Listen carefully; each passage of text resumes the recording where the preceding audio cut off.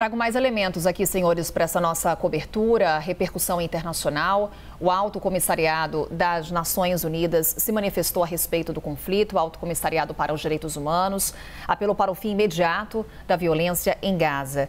Volker Turk disse estar chocado com relatos de que centenas de foguetes foram disparados e que civis israelenses foram feitos reféns. Ele pediu para que Israel tome precauções para evitar vítimas civis ao responder aos ataques aéreos contra Gaza.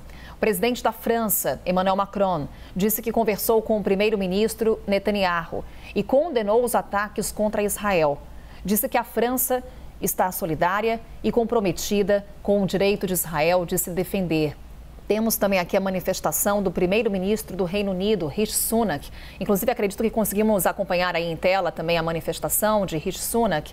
Ele disse estar chocado com os ataques terroristas do Hamas, disse que está em contato com autoridades israelenses e que os cidadãos britânicos devem seguir os conselhos de viagem. Também temos aqui, vamos acompanhar em tela, temos a manifestação de Volodymyr Zelensky, Emmanuel Macron, que falávamos agora há pouco, ele que foi às redes sociais também manifestar sua preocupação com relação à situação em território israelense. Temos aí agora a manifestação de Volodymyr Zelensky, presidente da Ucrânia, lembrando a Ucrânia que vive uma guerra. Volodymyr Zelensky manifestou condolências a todos que perderam parentes ou pessoas próximas no ataque. Disse que tem fé que a ordem será restaurada e os terroristas derrotados. Falou que o direito de Israel à autodefesa é inquestionável. Temos também a manifestação da presidente da Comissão Europeia, Ursula von der Leyen. Vamos acompanhar em tela? Ursula von der Leyen escreveu o seguinte: condeno inequivocamente o ataque realizado pelos terroristas do Hamas contra Israel.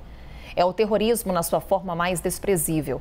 Israel tem o direito de se defender contra tais ataques hediondos.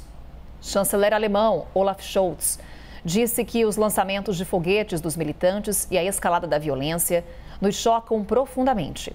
Ele acrescentou que a Alemanha condena esses ataques do Hamas e está ao lado de Israel. Temos também o presidente da Argentina, Alberto Fernandes, em tela também para você, a manifestação por parte do presidente do país.